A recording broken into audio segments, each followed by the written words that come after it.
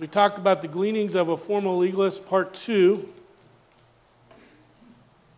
Talked about part one last week, and we'll share a little bit in review here. And I encourage you to take out your outline, take out your extra page of notes that I put in there as well, and uh, giving you plenty of study material long beyond the sermon.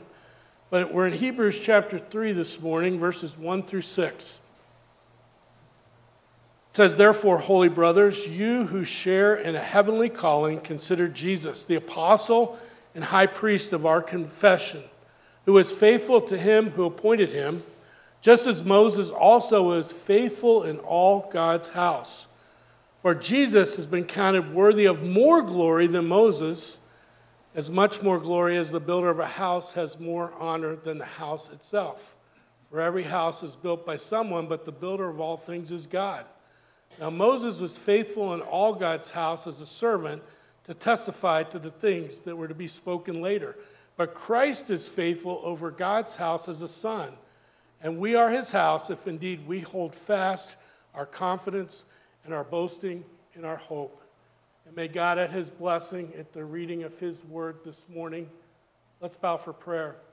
Father, we open the word. We thank you that it has power to change our lives, to transform us. Thank you that it doesn't return void as it goes out. And we pray you'll help us to come with open hearts, to listen, to receive from the Holy Spirit, from your word, what you have to give to each one of us today. We thank you that you know the individual needs of each heart in this room, and you know exactly what they need. And I pray through this message that you would uh, speak to them, encourage them, challenge us, convict us, whatever we need, Lord. We ask that you do your work, and we pray and ask in Jesus' name. Amen. Brennan Manning, in his book, The Ragamuffin Gospel, he said this Put bluntly, the American church today accepts grace in theory, but denies it in practice. We say we believe that the fundamental structure of reality is grace, not works, but our lives refute our faith. By and large, the gospel of grace is neither proclaimed, understood, nor lived. Too many Christians are living in the house of fear and not in the house of love. And that's the battle that each and every one of us face when we think of this idea of the law and grace and how we are to live that out. Last week I shared in the message the purposes of the law, mainly to show us our sin, that we can't live up to the law, and the solution is found in the finished work of Jesus Christ, as we just sang, lead us to the cross the finished work of Christ. When he said, It is finished, it was accomplished. The law is given to us to understand who our Creator is and how He has designed our lives and the reality around us to live best for Him. We talked about the attitudes that develop as a result of living and following the law legalistically. And then we talked about, in comparison or contrast to that, the attitudes that develop as a result of following by grace the law of Christ and the law of the Spirit, which we're going to unpack today in this message. We talked about living in tension between law and grace. We summed that message up by saying, as New Testament Christ followers, God is interested in a heart relationship with the Father to follow the law of Christ, the law of the Spirit, motivated by love and empowered by the Holy Spirit that lives within us as believers in Christ. We've talked about the law in previous sermons, so this morning we're going to look at the law in the New Testament as Jesus and others gave it to us by grace in love to obey by the power of the Holy Spirit. First thing on your outline there is Jesus came to fulfill the law and carry out its intended purposes. Jesus came to fulfill the law and carry out its intended purpose. Jesus did not come to destroy the law. It tells us in Matthew 5 17 through 18. Do not think that I've come to abolish the law or the prophets. I've not come to abolish them, but to fulfill them. Truly, I say to you, until heaven and earth pass away, not an iota, not a dot, the smallest punctuation will pass from the law until all is accomplished. This, these two verses are central to our discussion and understanding of how we, as Christ followers, are to relate to the Old Testament law. Jesus came to express the eternal word of the Lord that will last into eternity. And despite what the Pharisees said, Jesus came to fulfill and not abolish the law given to Moses in the Ten Commandments and the first five books of the Old Testament. The Jews know it as the Torah, we call it the, the Pentateuch. So consider what Jesus did not do in his ministry in Matthew 5 17. Jesus says he did not come to abolish the law and the prophets. In other words, Jesus' purpose was not to abrogate the word, to dissolve it, or render it invalid. The prophets had their, will have their fulfilled prophecies uh, filled in the future, and the law will continue to accomplish its purpose for which it was given. In Isaiah 55, it tells us in verses 10 through 11 For as the rain and the snow come down from heaven, and do not return there, but water the earth, making it bring forth and sprout, giving seed to the sower and bread to the eater, so shall my word that goes out from my mouth, it shall not return to me empty, but it shall accomplish that which I purpose, and shall succeed in the thing for which I sent it. Just as God sends the rain and the snow to water the ground, to provide nourishment for the seeds to grow, so God's word will continue on to carry out his work and accomplish his purpose.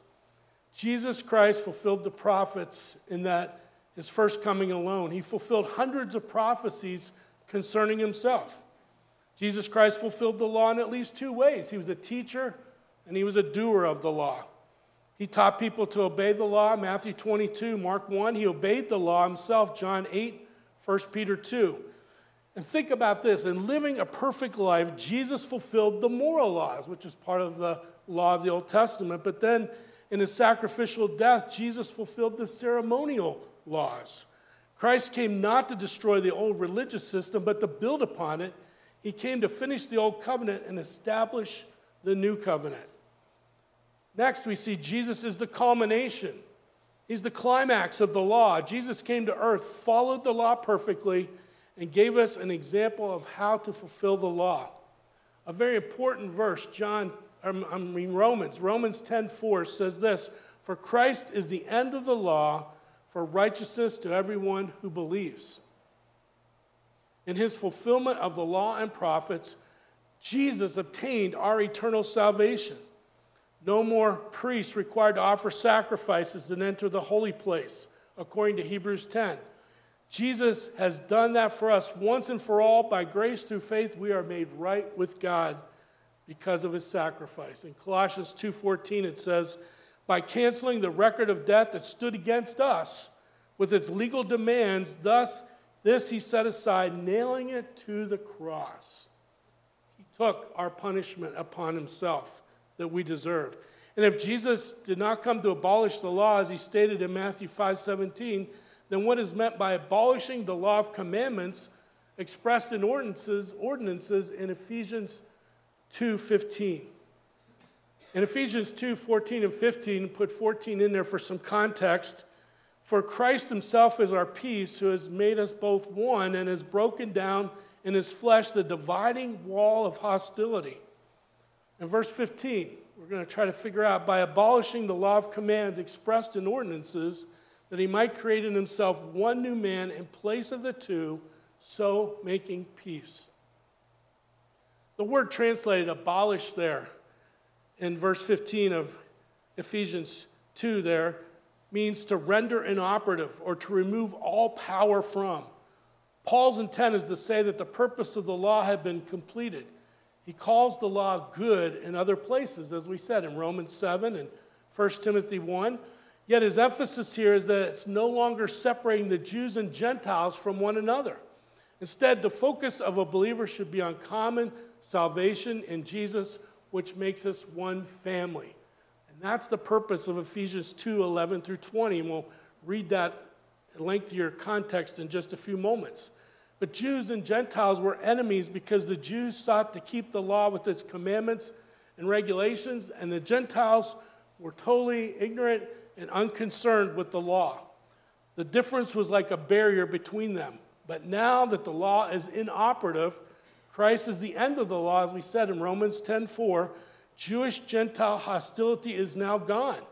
Some translations, like King James Version and New American Standard, give the idea that the law was the enmity or the hatred, but that is wrong. The law was the cause of the hatred, the hostility. Christ destroyed the barrier by making the law inoperative. In John 8:32, so if the Son sets you free, you will be free indeed. Let me emphasize that when we are set free from the consequences and the demands of the old covenant, the old traditions and rituals laid out in the Old Testament, Jesus brings us the law of Christ and the law of the Spirit to be obeyed by the motivation of love and the power of that divine nature, the Holy Spirit that lives within us because of his imputed righteousness. That's righteousness that Christ gave to us. And we have a new responsibility that we'll see in a moment. So, our application is this the Christ follower is not under the law of Moses, but now we're living in the law of Christ. We're not under that law. It was the platform, it was the, the foundation, it was to be the schoolmaster to bring us to Christ, but now we're living in Christ. Second, by fulfilling the law, Christ brings a new way of life for his followers. Jesus came to establish the new covenant, one of his purposes for coming to earth. He came to establish the new covenant, and the old covenant was a shadow of what was to come in the new covenant. In Jeremiah chapter 31, it says this Behold, the days are coming, declares the Lord, when I will make a new covenant with the house of Israel and the house of Judah, not like the covenant that I made with their fathers on the day when I took them by the hand to bring them out of the land of Egypt, my covenant that they broke, though I was their husband, declares the Lord. For this is the covenant that I will make with the house of Israel after those days, declares the Lord. I will put my law within them, I will write it on their hearts, and I will be their God, and they shall be my people. The new covenant, the law written on our hearts, the Holy Spirit given to us. And to fully understand the transition to the new covenant, one would need to study Leviticus and other parts of the Torah to understand the Old Testament law in relation to the book of Hebrews. And if you're reading today in the Word from Moody this month, it's interesting. They're going through the book of Hebrews. And the theme of Hebrews is that Jesus came to provide a better way. A better way. Let me give you a sample of that in Hebrews chapter 10. It says, For since the law has but a shadow of the good things to come, instead of the true form of these realities, it can never, by the same sacrifices that are continually offered every year, make perfect those who draw near. Otherwise, would they, have not, would they not have ceased to be offered, since the worshippers, having once been cleansed, would no longer have any consciousness of sins? But in these sacrifices, there is a reminder of sins every year. For it is impossible for the blood of bulls and goats to take away sins. When they sacrificed in the Old Testament temple, it was a covering over the sin until Jesus came and took the sin completely away. It was temporary in the Old Testament. In Hebrews 9:24, for Christ has entered not only into holy places made with hands, which are the copies, again, the shadow, or the copies of true things, but into heaven himself, now to appear the presence of God on our behalf. The tabernacle, the temple, was just a shadow of what heaven is. And Jesus has entered it to make the plea for our final sacrifice and to be our high priest and intercessor. Well, I have to stop here, but the depth of this can only be known if you study thoroughly the book of Hebrews which shows you that the Old Testament law was a revelation for the Jews to live by faith, with a constant view to the future that a Messiah was coming. He was going to come on the scene to lead them to a better way and even, the, even eventually the perfect way to heaven. We see also the Old Covenant kept the Jews and the Gentiles separate, but the New Covenant unites them in Christ. Let's look at that passage again. I encourage you to take your Bible, look at Ephesians chapter 2, Ephesians chapter 2. We'll look at this in detail, 11 through 20, to understand what Christ did by tearing down this wall. Can you imagine in the early church when the Jewish believers first coming to Christ, and it was revealed to them that they would be sitting in their ecclesia, their assemblies together with Gentile believers? It had to be a really difficult thing for a long time till they got used to the fact that they were not separated anymore, but one in Christ. And Ephesians 2 talks about this. In Ephesians 2:11, Paul said, Therefore, remember that at one time you Gentiles in the flesh, called the uncircumcision by what is called the circumcision, which is made in the flesh by hands.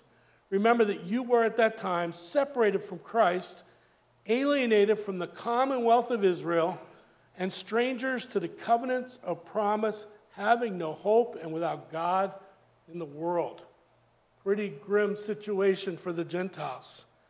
But verse 13, but now in Christ Jesus, you who once were far off have been brought near by the blood of Christ.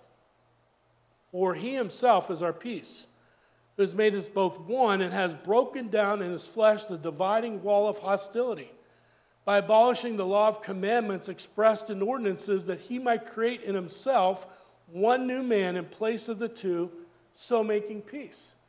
So now we go back to Galatians 3:28. We think about there's, you know, in Christ everyone is same, Jew and Gentile, man and woman, slave and master. For he himself is our peace, it says here, who has made us both one and has broken down in his flesh the dividing wall of hostility by abolishing the law of commandments, that he might create himself one new man in place of the two, so making peace. Verse 16, and might reconcile us both to God in one body through the cross, thereby killing the hostility. And he came and preached peace to you who were far off, and peace to those who were near. For through him we both have access in one spirit to the Father. So then you're no longer strangers and aliens, but you're fellow citizens with the saints and members of the household of God, built on the foundation of the apostles and prophets, Christ Jesus himself being the cornerstone, in whom the whole structure, being joined together, grows into a holy temple to the Lord. In him you also are being built together into a dwelling place for God by his Spirit. You are his holy temple. And anyone who knows Christ as Savior, we are one in the body of Christ. One aspect of the new covenant that Jesus proclaimed at the Last Supper and brought into practice at the cross was that the Jews and Gentiles would become that one body in Christ. And then we see Paul flesh that out in 1 Corinthians 12. We see it in 1 Corinthians 14. We see it in Romans 12. He talks about the body of Christ and the spiritual gifts that he has apportioned to his followers. In Ephesians 4 4, Paul said, There is one body and one spirit, just as you were called to the one hope that belongs to your call, one Lord, one faith, one baptism. In John 11 25, Jesus said to her, I am the resurrection and the life. Whoever believes in me, though he die, yet shall he live. In Christ, we have life in this new covenant. In John 4 4, in Christ was life, and life was the light of men. So, our application here is that Jesus came to transition from the law that condemns to grace that brings life. He was the resurrection and the life. He came to remove the condemnation, remove the consequences of sin that was upon us because we couldn't keep the law. But then brings us grace that brings life. I want to focus on two terms you will see in the New Testament that describe the law we are under now, the law of Christ, and then our last point, the law of the Holy Spirit, or next to the last point, because both the Holy Spirit and Jesus Christ are part of the Trinity. These two terms are merely descriptors of the same law we're to heed as Christ's followers. So here's a very, uh, just a sampling, because there's hundreds and hundreds of verses as we think about this law of Christ, Jesus came to give us the law of Christ, which takes the Old Testament law and then exceeds it. He takes it to another level. Remember the difference between those believers who followed the Old Testament law and those in the church age, in the current era we live in, who follow the laws of Christ and the law of Spirit. We both do it by faith in God. The Old Testament believers followed the laws with the Holy Spirit, and of course, the Holy Spirit came and left. He didn't abide and dwell like He does today and stay. They had to sacrifice animals to pay for their failures in keeping the law. And all the sacrifices were pointing to the final sacrifice of Christ on the cross. But in our church age, in the current era that we live in, we look back to the cross of Christ and trust by faith in the grace that was displayed by Christ on the cross and made available for us to accept and receive. It tells us in Romans 5 5, we're filled with God's love when we received the Holy Spirit, and now we're motivated by that love. Jesus said, If you love me, keep my commandments. And we can fulfill the New Testament covenant that Jesus and the other letter writers in the New Testament fleshed out for us to follow in order to glorify the Lord and live well with our fellow man. We look briefly at the law of Christ. First, in the Beatitudes, the Sermon on the Mount. In, in uh, Matthew chapter 5, 6, and 7, you begin to see the law of Christ unfold, how he builds on the Old Testament law and then exceeds it. In verses 2 through 12 of Matthew 5, Christ shared who would be blessed nine times and what we should aspire to. And then on the screen, look at Matthew 5:13. It says, "You are the salt of the earth. But if salt has lost its taste, how shall its saltiness be restored? It's no longer good for anything except to be thrown out and trampled under people's feet." So I did some study on this verse. What is a salt covenant? And where does this idea of being the salt of the earth come from? There's more to salt than meet the taste buds. Salt has been used in many cultures as a valuable commodity.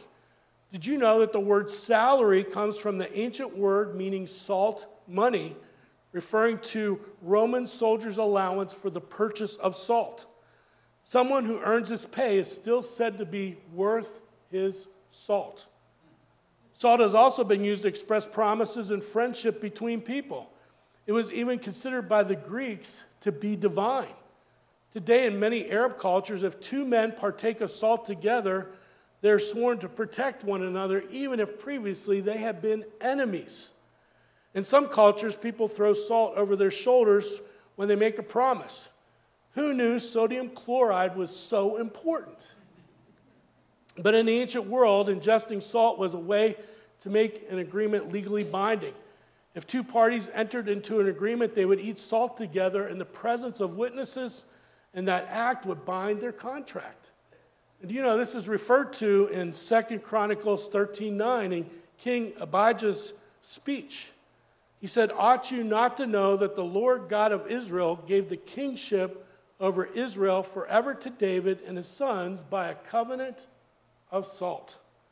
Here, Abijah refers to the strong, legally binding promise of God to give Israel to David and his sons forever. The idea of a salt covenant carries a great deal of meaning because of the value of salt. And so, when Jesus told his disciples that they were the salt of the earth, he meant that believers have value in this world and are to have a preserving influence on the culture. The salt covenant is never explicitly defined in the Bible, but we can infer from the understanding of salt's value in the context in which salt covenant is mentioned that it has to do with the keeping of promises and with God's will toward man. Here's just one simple understanding. Think about it of how he builds on the Old Testament law and expands it. In Matthew chapter 5, verses 21 through 26, Jesus talking about anger, he said, You've heard that it was said to those of old, the Old Testament law, you shall not murder. Whoever murders will be liable to judgment. But Jesus says, Guess what? But I say, I'm going to add to that law to you that everyone who is angry with his brother will be liable to judgment. Whoever insults his brother will be liable to the council. And whoever says, You fool, you'll be liable to the hell of fire. So if you're offering your gift at the altar and then remember that your brother has something against you, leave your gift there before the altar and go. First be reconciled to your brother, then come and offer your gift. Jesus quotes the Old Testament law, and then he says, But I say, he takes it up a notch. And we see, talking about anger, Paul says, Be angry and do not sin. Do not let the sun go down on your anger. Back in the Sermon on the Mount, in the Beatitudes in, a, in Matthew chapter 5, he talks about lust, Jesus does. He says, You've heard it said, or you have heard that it was said, You shall not commit adultery. Notice what he says next. But I say to you that everyone who looks at a woman with lustful intent has already committed adultery with her in his heart. If your right eye causes you to sin, tear it out and throw it away. For it is better that you lose one of your members than that your whole body be thrown into hell. And if your right hand causes you to sin, cut it off and throw it away. For it is better that you lose one of your members than that your whole body go into hell. Wow. Jesus takes and he amplifies and takes it to another level. And we, out of motivated by love, powered by the Holy Spirit, we try to obey what it says. Here's another one Matthew 5, 40 through 42. Several things here. And if anyone would sue you and take your tunic, let him have your coat as well. Don't just give him what the lawsuit's talking about. Go beyond and give him something else, your cloak as well. If anyone forces you to go one mile, the Jews were told that if the Roman soldiers came and said, Carry my armor one mile, you had to do that. Jesus says, Go with them two miles, go beyond. Give to the one who begs from you, and do not refuse the one who would borrow from you. Do you get the idea? The law of the Spirit, or the law of Christ, is actually uh, taking us on to another level beyond the commandments that were listed in the Old Testament. This is just a small, small sample of the law of Christ. You could do a study of it, and you should, so that you know what's expected of you as a follower of Christ in the current time of history we live in. We're to contextualize these laws of Christ to fit in our relationship with God and our fellow man here in the 21st century.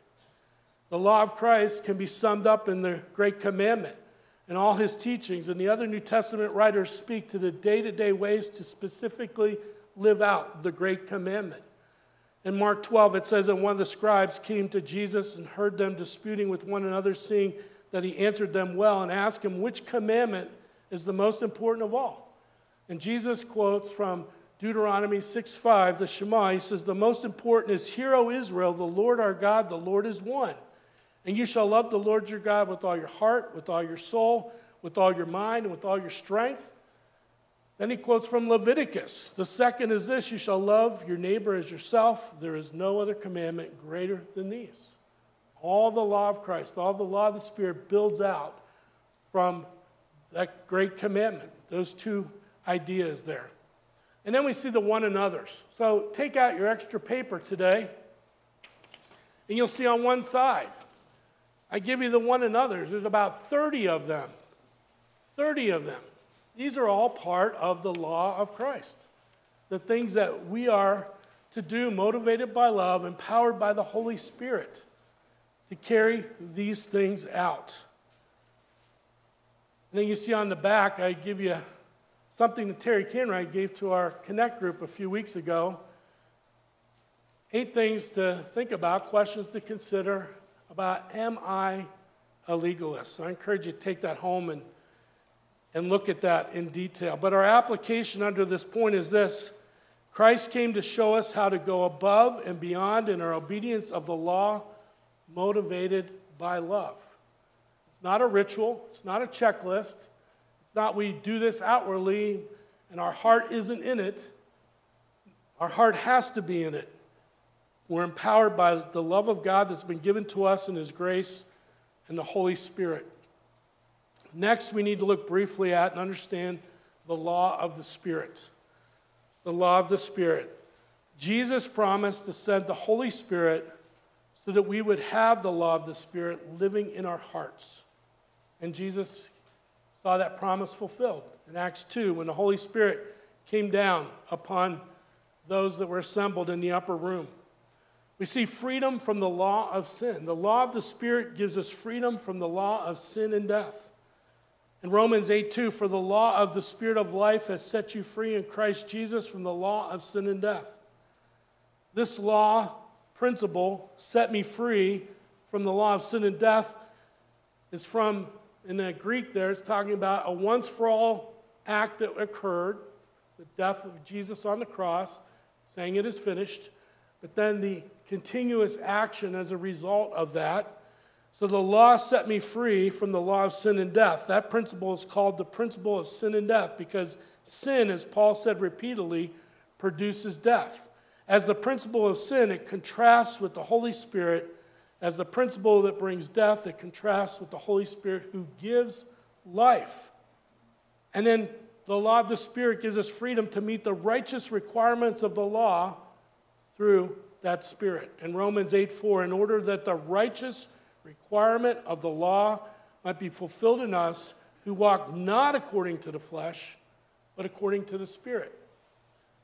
You should be so thrilled today that we, trusting in what Christ did for us on the cross, giving us, He giving us our divine nature, that we have the ability to meet the righteous requirements of the law that enables us to go into heaven and to be with our Lord and Savior for all of eternity. And it gives us abundant life here on this earth. So here's the application. The great news is that Christ's followers have been released from the law of sin and eternal destruction to a new way to live in the law of the Spirit. Isn't that great news? That's the gospel. That's what we share with people.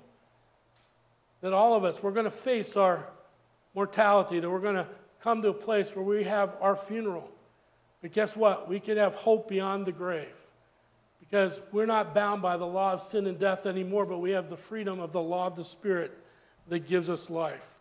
I could go on and on, but I hope you get the point. Christ with the Holy Spirit brings us a better way to live looking back to the finished work of the cross that puts all this action in motion within the heart and soul of the New Testament Christ follower. Then Paul goes on to show us how to live with one another in Christ, with differences and convictions, but stay in harmony and maintain unity by following the common good. So I got to this point of writing my sermon, and I realized that I would need another 15 minutes. So we're not going to do much with this last point, but I will give you the blanks because some of you are type A and you don't want to leave without the blanks being filled in, right? But Jesus allows our consciences touched by the Holy Spirit to understand how to live in the areas of our life that are not spelled out clearly in Scripture and in unity with fellow Christ followers. With this point, I wanted to get down to the very nitty gritty of everyday life, of how we can live free in Christ, but not be a stumbling block to other believers or non believers because of our freedom, because some of our different views of convictions and things like that. So I don't have time. We're going to share this as a sermon at the end of the book of Galatians. This will be a little teaser, but just remember this in Romans 14 7, as we think about our freedom in Christ, it says, For none of us lives to himself and none of us dies to himself. We can proclaim our freedom in Christ, and we can have freedom between us and our Lord. But we also need to realize that there's a balance that everyone doesn't share the same convictions that we have. And so there's a tension on how we live these principles out. You'll see this the command. I want to give you three things today. Command is when God tells you to do something and demands our obedience. And that's what we've been talking about. These were the laws, these were the things laid out, these are the commands that God wants us to do. But conviction is God speaking to your heart through the Holy Spirit about what you should or should not do in an area that's not a command based on scriptural principles. For example, the Bible doesn't speak about movies, entertainment choices, social media, but there's principles that you can go to and find. And if we sat down with 10 of us in a room, we might have different convictions about some of those things. Wearing makeup for ladies or not wearing makeup, tattoos, piercings, alcohol use, tobacco use. Now, in many states, and probably soon all across the United States, marijuana will become legal. And how do we deal with that with our convictions? Playing cards, dancing, fashion choices. What does modesty and dress look like? Bible translations to use, music choices, material wealth, and on it goes. And so we individually have to come to the Word, the principles of the Word, and through our life experiences and many things to develop these convictions, but at the same time, not impose those on others who may have different views. And that's what Romans 14 and 15 is all about. And then preference. Preference is what you like or feel will help you in your spiritual growth and worship of God. So, for example, when I was in Christian college, we had to sign a document called the Liberty Way in Liberty University, and you had to sign this document saying you agreed with all the, the things that they had. And a lot of it was housekeeping rules and how to do things and have order and consistency and so on and so on. They weren't based in Scripture, they were preferences to everybody getting along and working together. Danny was in the Army. When you signed up for the Army, they had some preferences, didn't they? A lot of them, right? When you join the VFW, when you join anything, you have preferences that they say are imposed upon you because you joined that group. Rules to live by to make life easier and consistent for all. So, as we close, you need to keep those in balance and understand those. We talk about them more in detail. But the application here is living in tension with these principles with the goal to maintaining unity in the church family will help us prevent from being legalistic and judgmental. Because pretty soon our convictions seem a lot better than somebody else's, and we want to tell them how to live, and we have to battle against that. So, wow, thanks for hearing me out this morning. These last two sermons are really a product of thought and study over the course of my Christian life for 52 years, but especially as we've been going through the book of Galatians. If no one got anything out of this message, I know God had me at least preach it to myself. So, the key thought here is a healthy understanding of our role as Christ followers and following the law of Christ and the Spirit will keep us balanced and unified in our walk with our church family and fellow believers. Three things before we go to prayer. I don't often mention these, but I will today and always have those questions to ponder throughout the week. Some takeaways to consider. Number one, are you able to live comfortably under the law of Christ since you have the power of the Holy Spirit living in you? Can you rest? Can you abide in that? Can you be confident? Or do you feel like you're under the hammer and you've got to do all these things? To live up to God's acceptance? Second of all, do you struggle with wanting to impose your convictions on other Christ followers? I've battled that at times in my life. And it's something that we have to uh, find the, the balance and the tension to live with. And thirdly, are you able to be balanced and unified for the common good of the church family, even if you can't agree with everyone? You see, when we receive the Holy Spirit, we're called to unity. It doesn't say something we have to conjure up. Paul says, keep the unity of the Spirit in the bond of peace. We have the unity. It's up to us to maintain it and to keep it and to love our brothers and sisters in Christ for the common good in our church family. Let's bow for prayer. Maybe you're here this morning. Maybe God's speaking to you about some areas of your life that you've been kind of judgmental about kind of wanting to impose your views on other people. Kind of thinking, boy, if they would only think my way, which I think is God's way, they would be better off. And we have to just release that and we have to put it in the Lord's hands. So maybe today, if you're struggling with a judgmental spirit, pray and ask the Lord to forgive you of it and to remove that from you and to walk in the balance of love and unity toward your brothers and sisters in Christ. Father, we thank you. Thank you for this teaching. Thank you for the, the power of your word. Thank you how you've laid it out very simply for us to understand. It's all so easy to understand it, but it's another thing to obey it. Give us the ability to do that. Some of these things are counterintuitive to our human flesh to love our enemies, to treat others with respect and dignity when they don't treat us in that way. But Lord, help us. Help us to live out the law of Christ, the law of the Spirit that brings us life. We pray and ask in Jesus' name. Amen.